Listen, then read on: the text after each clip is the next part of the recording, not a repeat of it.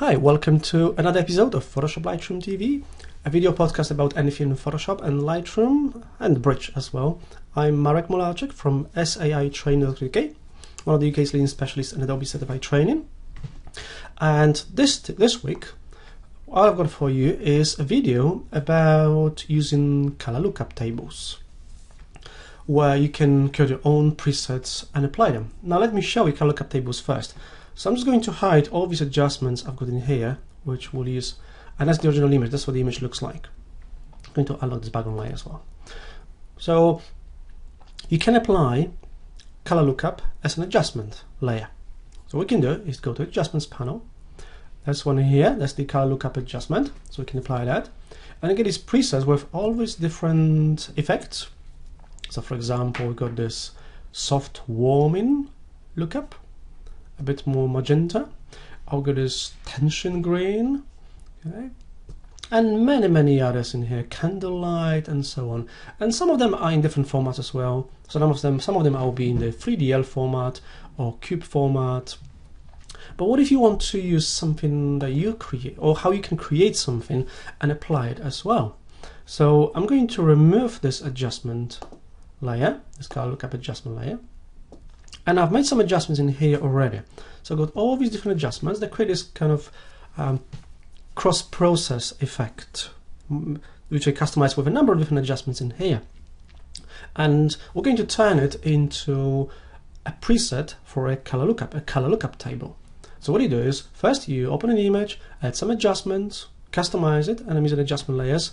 And the idea behind the color lookup table is so I don't have to keep this document and apply the same adjustments over and over again. There'll be just one color lookup table. So what you do is you go to File menu, then go to Export, and then Color Lookup Tables. When I select it, in this case in here, I'm going to get in this uh, alert error message saying that you couldn't export the color lookup tables because this document has no background. So to export to color lookup tables, your document has to have a background layer. Not a big deal. I'll click OK. And with the layer 0 selected, we'll go to Layer menu, New, and then Background from Layer. And I'll go to File menu again, Export, and then Color Lookup Tables. You can add description to it, so I'm going to call it My Cross Process I'll keep the grid at the medium size, 32 points, that's fine. For the format, I'll use the 3DL. You could use all of them if you wanted to. Initially, actually, all of them would be selected. I was going to use the 3DL, that's fine. And I'll click OK. Then I'll put it straight on the desktop, so it'll be easy to find. So it'll be my, my, what I call it? Uh, cross process. My cross process. Now let's save that. Okay. Now if I want to apply it, so if I just hide all these adjustment layers here, I'm just alt clicking on the eye icon for the background layer to hide everything but the layer you're clicking on.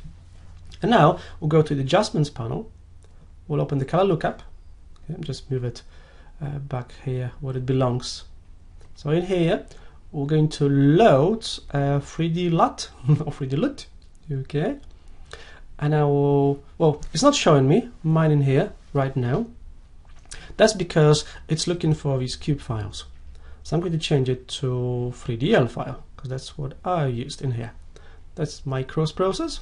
Okay, choose load and apply this effect. And it's a color lookup adjustment layer.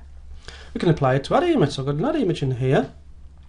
So I can go to the color lookup, load the 3D LUT, load the same color lookup table, 3DL file, as the one.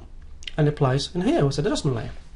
Now because this is an adjustment layer and it comes with a layer mask, we could edit it. So we could have the layer mask selected, can grab a brush, just normal brush, a black is the foreground color, and we can hide the effect from a part of this image in here.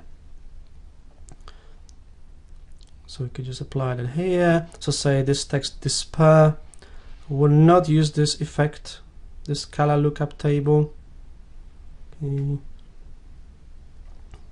So we can edit this layer mask non-destructively because layer masks are non-destructive. Just doing it really quickly here.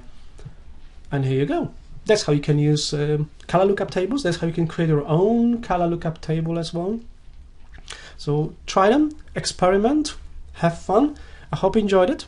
Thank you for watching. I'm Marek Mularczyk from saitraining.co.uk, saitraining.co.uk. You get a link on your screen. Uh, thank you for watching, and if you like it, uh, let other people know to watch it and subscribe to my YouTube channel. And thank you for watching, and I'll see you soon on the next episode of Photoshop Lightroom TV, your video podcast about anything Photoshop, Lightroom, and Bridge as well. Thank you for watching. Bye bye.